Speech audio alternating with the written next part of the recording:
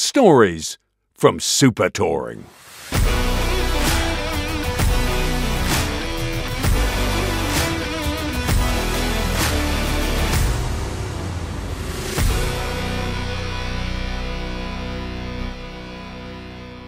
So I'd like to welcome uh, touring car legend Steve Soper to Stories from Super Touring.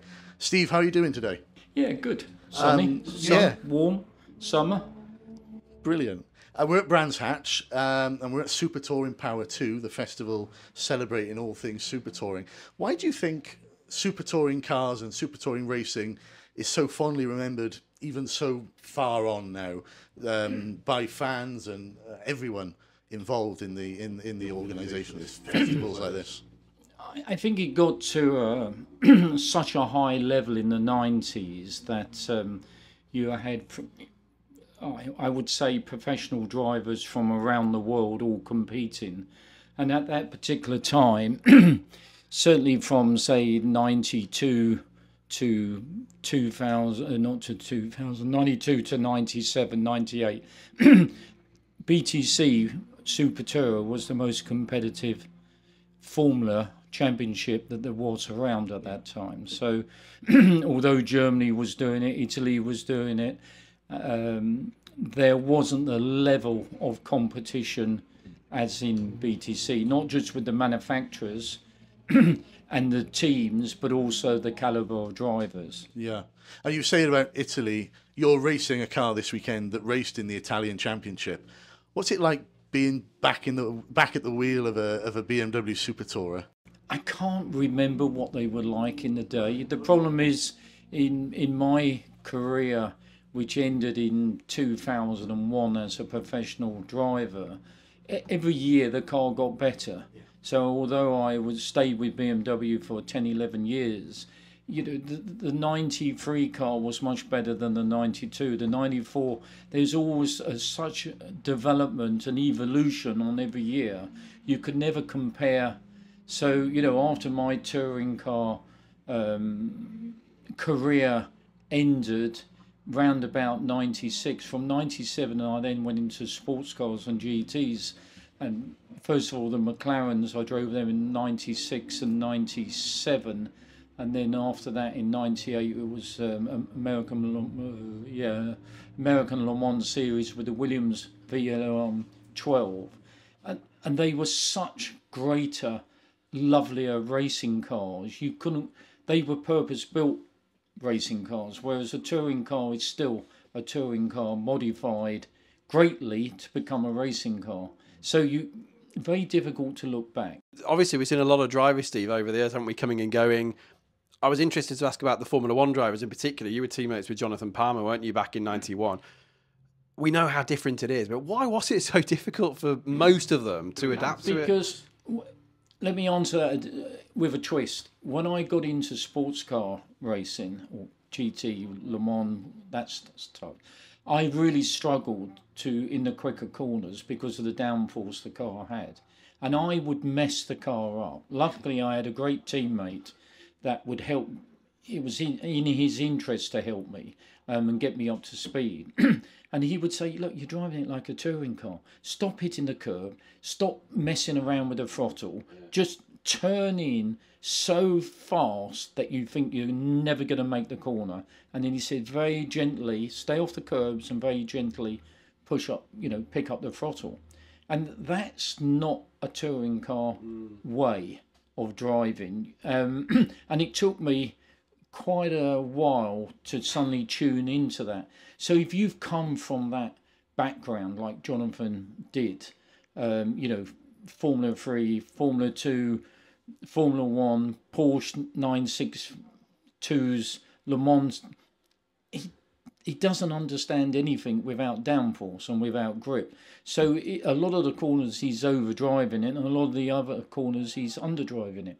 Right at the very, and he pulled his hair out. He was very, very mm. frustrated with himself. But the very last race we did of the 91 season was at Thruxton, and it suddenly clicked, and he blew me and everyone off. It just clicked, and suddenly he was gone.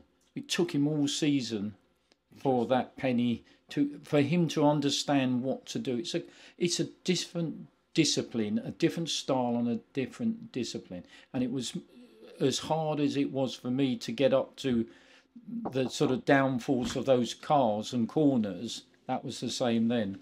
Yeah, you mentioned before your career sadly ended here at Brands Hatch in 2001. We'll talk mostly about the Super Touring, but how different were those cars to drive? The Peugeot was quite off the pace that year anyway, wasn't it? But how different were they from the Super Tourers you were used to before? it just wasn't as a, a nice set of regulations. Um, the car was heavier, underpowered. Um, the Peugeot was not competitive. Um, we tried all sorts of things you know, we kept trying to reinvent the wheel. The car basically it was, you know, too big, too long, just didn't want to do what the the competition was doing, the Vauxhalls with Muller and things.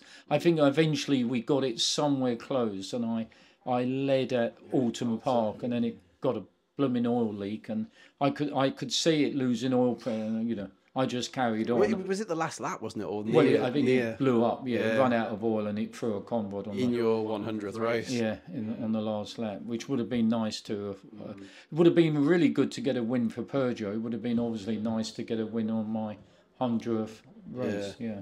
Um, I was just going to talk as well, Alex, about the personalities. I mean, obviously we had BBC Grandstand, didn't we, with Murray Walker on the coverage. How important was that to have people like Steve Rider and, and Murray involved? I think you know with Steve Rider and Murray, they they were great commentators, but they also knew everyone around. They knew, you know, Murray. I knew Murray personally and had known him for years. Um, so he didn't have to suddenly look down some notes or anything. And back in BTC, they were all back in the nineties. They were all household names. You know, it didn't matter if it was Rydell or you know Tarquini if you're into motorsport and certainly you're a commentator, Murray didn't have to think what to say. It came natural. Yeah, he knew them because they were, like you say, household names. Greg just mentioned that 100th race of yours at Oulton in the Peugeot in 2001. And I always get surprised. I think, gosh, a man like Steve Soper, you didn't do that many BTCC races, mainly because BMW plucked you and wanted you to go to other championships in other countries and race for them there. Um, obviously, that affected your chances of ever winning the BTCC in the era. Did that ever? Was that ever a, a, a problem for you? Did you ever feel that you unfinished business with the championship because of that? At the time, no. Years later, you think maybe I should have done something different. The the, the two, I mean, in '93. Um, with Winkelhock. Winkelhock won the championship in '93. I I led it for most of the way, um, and he he beat me fair and square. Jo, when he's on form, really difficult to beat.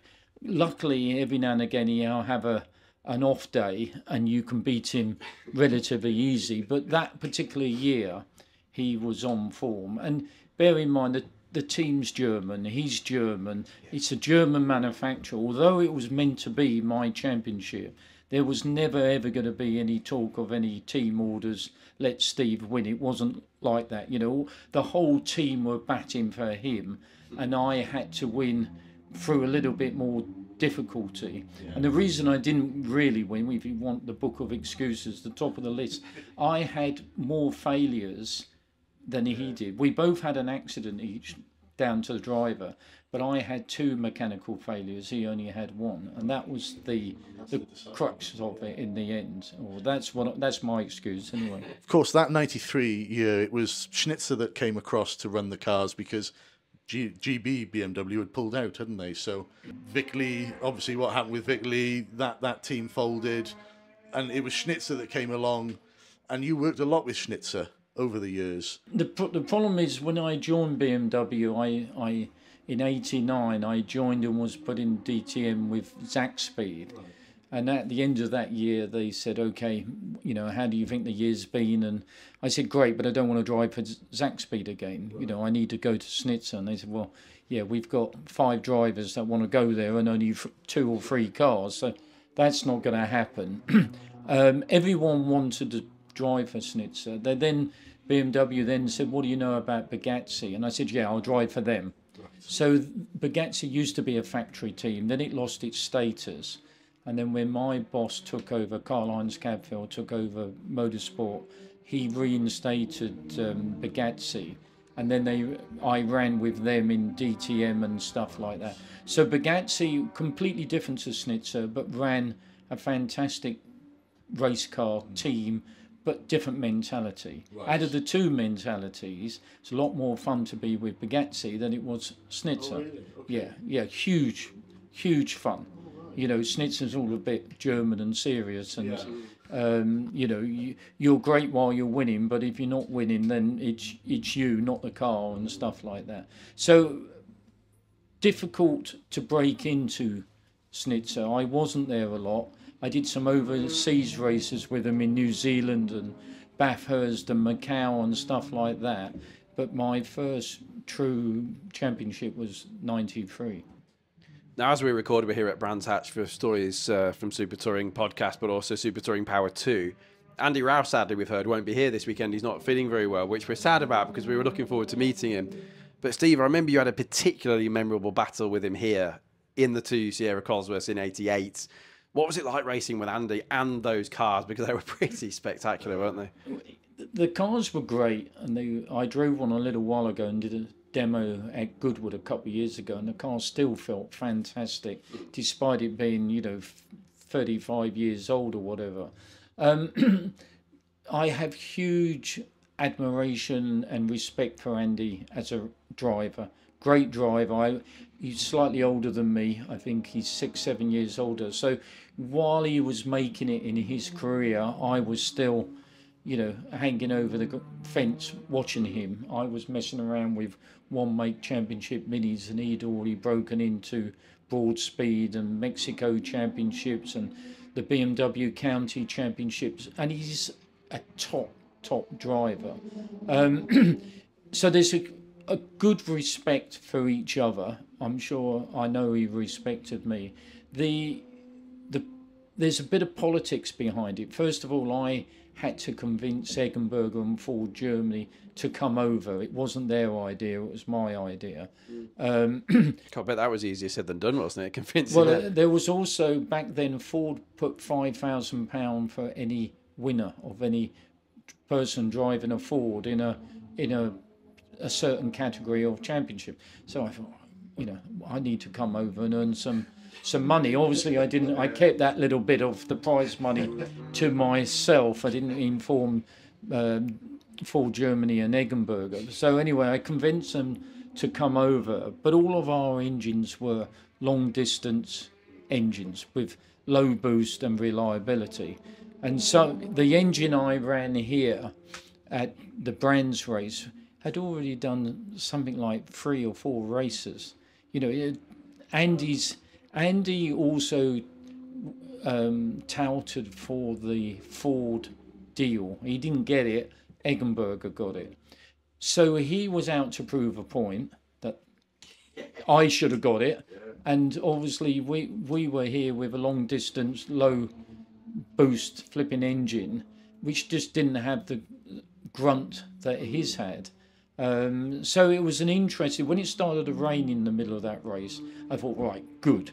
Now I now I can do something. But the rest of the time, um, on the very last lap, I sort of thought I I had it because I managed to get on the inside of him down the straight here, and I thought, right, I'm not going to back off. You know, I'll stay on the inside into what is it, Hawthorns, and then I don't know what the next one's called. I've got it. But if you if if if there's anyone watching and they're complete anorak like I am, if they if you look at that bit of footage which is still on YouTube, if you do frame by frame from the corner onto the straight to about a third of the way down the straight, you'll see a car on the right which is on the grass.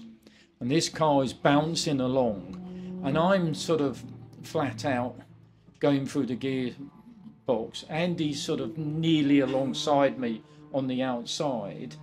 And I'm thinking, this, this, this guy, if he hasn't seen me and he comes back on the circuit in front of me, it's going to be like a plane crash.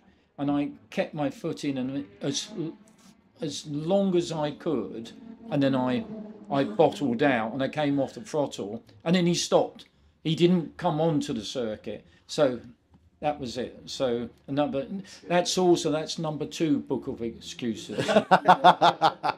It's funny you mention that, Steve, because that, this morning I watched that piece of footage on YouTube. I was doing a bit of research, and I'd not noticed that car before, but I noticed it this morning. and I thought, bloody hell, that's dangerous. Yeah, well, it because was. he could have, like you say, he could have just pulled back on. From where I was sat, he was coming towards the track, and I thought, you know, I can't go more left because Andy's there. All I'm going to do, if he's not watching, I- I'm just going to drive straight into the back of him. But he, he did at the last minute stop. There's some RS 500s racing this this this this weekend here at Brands. Um, they're an iconic car, aren't they? They, you know, there's, there's something really special about those cars. Well, I think well they were real pure homologation special of Group A at the time, um, and I joined. I when I left Rover, I wanted to join BMW, so I didn't have happy days at Rover. Um, TWR um, and the way I was managed there weren't what I consider how I should have been managed. So I was eager to get out of TWR. In in 1983, BMW offered me a, a very lovely contract, Germany, to leave for 84 season, and I didn't. I was convinced by Austin Rover, not TWR, but to stay with your friends, you know us, and it was a little bit intimidating to be offered um, the a factory drive at BMW, and also at that time, I, I probably wasn't as comfortable or as confident as I was later. So I thought there was a huge risk to go to BMW and then not be able to perform on with a team that I'd never seen, driven, spoke the language, let alone all the foreign circuits, being, you know, teammate with Stuck and Winkelhock and people like that. Obviously, it wasn't Jo Winkelhock, it was Manfred Winkelhock at the time. The actual car that used to come over, the reason I was offered that, there was uh, Hans Stuck came over and drove a private entered BMW in the, it was British Touring Car Championship, but not Super Slur. And I used to beat him more times than he beat me. So when he went back to his bosses in BMW Germany, he couldn't say, "Well, I didn't win." He had to give, "Well, this bloke's a superstar." So he kept saying I was a superstar, and obviously they tried to employ me. So I never took that offer. um, Austin Rover matched the financial side of it and gave me a long contract, but they, it wasn't a happy three-year contract. So as soon as I could move, I wanted to, and I got on the phone and started to talk to BMW again, um, and it it all started to go okay until we got around Christmas, and then it just went dead. You know, nothing happened from you know, I don't know, first of December until January, and I started to panic, thinking, "Sugar, you know, I've thrown the towel in at TWR. Now I'm going to end up with nothing." And then suddenly Ford came on the phone and said, "You know, we're interested. Are you interested? It won't be." The first uh, 86 won't be the Cosworth, but we'll get the Cosworth for 87 and 80, 88. We've got even a evolution of the Cosworth coming, and that just seemed such a lovely offer. It's a lovely long program. Yeah, that you know, and I was more comfortable of then going to Eggenberger and things. So that filled the gap. When that ended in '88, end of '88, luckily my boss at Ford said, "Look, I don't have a budget to run you next year. I want to run you, but the money I've got is for the two Klausers. I'm trying to find more money, but at the moment you you you not have a contract with Ford. So if you get offered anything, take it. And if something changes, I'll let you know. So I then picked up the phone again to BMW and started, and then finally, after a lot, always wanting to drive for BMW as a kid and watching from the grandstand as a 15, 16, 17 year old, then my career took off. And then finally in 1989, after a long period, I finally got into BMW. Fab. And talking of people who called you a superstar, there is another person that has called you a superstar before. He also called me an animal, didn't he? He did also call you an animal, yeah. And he is here this weekend. And we know that you two are now friends and have patched it up and get on well. But um, you looking forward to seeing Mr. Cleland? Yeah, I mean, you, you know, we we only had a a problem immediately after that incident. the the incident, um, you know, which I'm sure he still blames me hundred percent. Takes takes two to have an argument, two to have a fight. Let's let's not go into that. But the that incident went to an RAC tribunal. They were out to, I think they were out to hang me, which I was prepared for. But actually, John, we didn't speak from that accident at Silverstone until I think it was seven or eight months later. And then he rang me at home one night and he basically said, Listen, he said, I think it's your fault, but he says, I can't be sure. They're out to get one of us and make an example. And he says, I'm not prepared to take the risk they don't get you and they get me instead. So he said, um, I think if we go in as mates and say it was a racing accident, they can't do anything. So I said, okay, fine. You say it first and I'll back you up. The truth is, though, Steve, obviously, as you will know full well, had it not been for that incident, the BTCC may have been big, but it wouldn't have been anything probably, or certainly not as quickly as big as it was. I mean, you know, you are to thank in many ways, aren't you? and John. The problem is that particular weekend at Silverstone, there was nothing else on. There was no World Rally, there was no Formula One, there was no World Sports Car, there was nothing. It was Silverstone you know, circuit, BTC. So that incident made front page Auto Sport, it made motoring news, and it sort of dragged on. And then you had every every sort of known expert anorak writing in their opinion. So it just dragged on and on and on and on. And yet it was controversial because, you know, John lost the championship, which he obviously thinks he deserved to win. Um, I was there for BMW. I wasn't there for BMW at any cost. If I wanted to eliminate John, I could have done it and made it look like a, a sheer accident and carried on and maybe still been on the podium myself. So it, it was never a deliberate move to wipe John out, but it's circumstances, and circumstances ended up with that move. You know, I I've said many times and in interviews, mm-hmm. I went after being punted off by a Vauxhall, David Leslie, on the first lap. I went from the back of the grid to John and Tim without touching another car. You know, that's not my style. I might be aggressive, racing aggressive, but not knocking people off or at their, you know, my gain and their cost. and that weekend was no different. But I got to John, and then he, you know, if you looked at all the in-car cameras, he flipped and he was wired up. Um, yeah, was, yeah. so he, he was effing and blinding at me and everything. He was going for first, according to Murray, wasn't yeah, he? Yeah, yeah.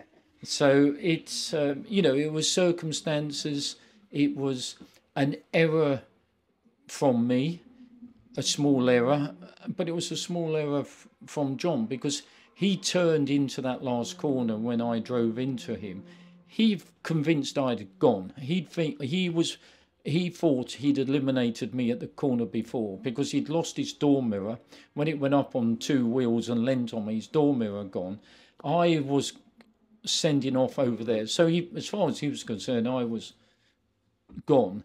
uh, I was still there, and I thought he would give me some sort of space because I was otherwise if he didn't what happened was going to happen. So you know he's got a different view altogether and he's entitled to that. What was your feeling when he was trying to open the door and get in? I was still trying to start it. I was still, still trying to get out of there because I you know as far as I was concerned my it still was a runner. Yeah. does that annoy you in any way that being asked about that I mean, I know we're just as guilty of doing it as everyone else, but you know, it's 32 years on now. Does that ever irritate you that you think, oh God, they're, they're talking about that again? I do a few car club talks. Just don't get paid. Just go along, you know, and and talk about my career. and when it comes to the end of my 41 hour and a half talk, I say any questions. The first question is always that meeting. It's always that John Cleland. And you know, the guy can be a fan of mine and I hate Vauxhall and John, or he can be a fan of John. And you know, you it's very difficult to talk them through because I look like the bad guy. You know, even I sat there and thought, shit, it doesn't look good for me. This is going to be this is going to be tricky in the tribunal. You know, but it, interesting enough that at the tribunal, first of all, I had all the videos. I used to know Barry Hinch, Barry Hinchliffe, yeah. So on Monday morning after that, I knew the ship was going to hit the fan. I was down at their studios, and I got everyone's in car. I got my uh, in car. I got Harvey's. I got Cleland's. I had everyone's in car footage, and John was mic'd and effing and blinding. Um, and then we were told there was no video allowed in the tribunal. So you know, there's many things going on behind the scenes. Um, there was certainly a particular person quite high up at the time who wanted to get at me, um, and he was very pissed when he d- didn't. And there was a couple of RAC stewards that felt that what I did was not correct, and they were after me. But you know, hey, I'm you know I'm thick-skinned. I don't give a shit. I've always been interested to know, Steve, because I don't believe for one second it was predetermined. There was a plan to get Cleland or anything like that. It was obviously heat of the moment stuff from both of you. What sort of conversation did you and Tim and the team have before? Because obviously you were his teammate. Was there any plan to sort of Yeah, help ma- make sure he won the yeah, make Yeah. sure that um, Tim's in a position to win the championship. And, it, you know, I, I did a lovely move on John, the lap before, I think, coming through, um, I, I don't know if it was Abbey or what bridge it was. Um, Yeah, bridge coming through bridge. Yeah, it was a brilliant move. and I actually managed to get. I was in front with John behind me and Tim behind him, and I swapped that all over and got got Tim in position, and then me behind Tim, and then John. So that was then. I'd already worked out. That's it. If we stay like this to the end, Tim wins the championship. Or you know, maybe I would have slowed John up and let. There was all this stuff going on in my mind but there was you know BMW didn't say to me what we don't care what you do you can drive him into that lake over there that's it they didn't say that that was not their you know the, their sort of um, brief before the race. We Tim and I had spoken about it. Tim's quite um, uh, difficult to sit down and have a, a brief on. And whenever you do these how it's going to work and what you're going to do you know you're going to slipstream me and then i'm going to it never works. You know the greatest plans it was all about the last three or four laps where everyone was. You know um, will was out of it um, i think tim helped him on his way. um, so you know, we did come out as the bad guys wearing the black hats rather than the the good guys wearing the white hats. But as I said, you know, it it didn't really ever. I don't think it ever hurt my career. So I don't really, you know, have much of a problem. Just before we go, Steve, because we've obviously kept you a lot longer than we planned, haven't we? So thank you for that. But I think a lot of people don't realise you were actually champion, weren't you, for a time in the 80s, and then it all got taken away. So maybe for anyone who doesn't know what happened there, because you were officially British touring car champion a 1983, I won the championship, but I think we were, uh, I think we won it, or we were crowned champions for about nine months, maybe a year, and then at the time it was Frank Sytner in a BMW, uh, good old BMW, um, who took. He used to drive for Tom, and Tom fired him. So he used to drive a Rover. Tom Walkinshaw fired him. Um, I don't know. I don't know why he fired him. Uh, Frank and his buddies were convinced the Rover was not correct and went to great lengths. And everything they came up with, Tom had an answer for. And then finally, they they did an engine check and they found a tappet, which wasn't a Rover tappet. It was a Volvo tappet, and it basically uh, Rovers have a hydraulic tappet and for ease of maintenance, they they modified it with some parts from a Volvo just for maintenance, so that they could actually adjust the tappet quickly, um, and that was not correct, and that's what we got chucked out and lost the championship, which is fine. It wasn't legal. Didn't didn't enhance any performance, you know, or anything. But you know, that's that was always Tom. You know, you're not a cheat unless you get caught. Well, Steve, thank you so much for uh, giving your very precious time to us uh, on Stories from Super Touring. Um, you're looking forward to the weekend getting out there and actually racing again. Yeah, I think so. I mean, it's you know, I'm old now, but I still sort of turn up. You know, I said to someone the other day, and then I got told off for it. I think it was Goodwood, and I said, you know, we all turn up on the the Friday, all with a spring in our step, and then by the time Sunday and the race is all over, we all drive home frustrated and disappointed. And you know that is motor racing because you you lose far more times than you win. But it's um, I I wanted to be here. I wanted to do it. I'm in a particularly great um, E36 McLaren one car that McLaren did an awful lot of development and um, sorting out, and it's absolutely lovely to drive as a super tourer. Um, it's it feels really really good. I, I don't think it's going to be quick enough to beat Jake Hill. First of all, Jake Hill's a bit of a a star anyway, and very very fast, and also in, the car he's driving is probably got about another 30 horsepower more than me. That's the third list of excuses. Um, Write these down. and even if he didn't have, you know, I'm 72. What's he? 30? yeah, You know. Is, yeah, yeah. So I, I, I did a race years ago at Goodwood, and this guy kept saying to a mutual friend, "Well, he, Steve won't beat me," and my friend kept saying, "Well, he will." He said, "Well, how old is he?" So my friend, I, think he's 65. This was about seven, eight years ago, and it was a GT40 race at um, Goodwood. Anyway, I I think I came third or fourth, and he came sixth, and very begrudgingly, I won't tell you who he is, but very begrudgingly after the race, he, he came up to me and he's gritting his teeth, well done. Um, and I said, oh, that's okay. So he said, oh yeah, you did drive, you did drive well. You know, my my car had this and it, my car had this problem, that problem, all, all different. I said, yeah. I said, mine was okay. But I said one thing.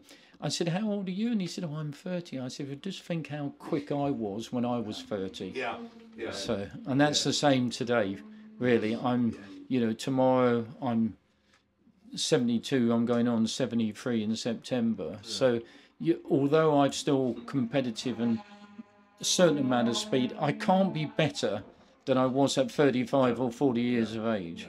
So, Yeah, no, Anthony said very similar last year when obviously he was up against Jake last year in the Nissan. Anthony Reid, um, you know, he said very similar. He said, you know, it's it's just not possible.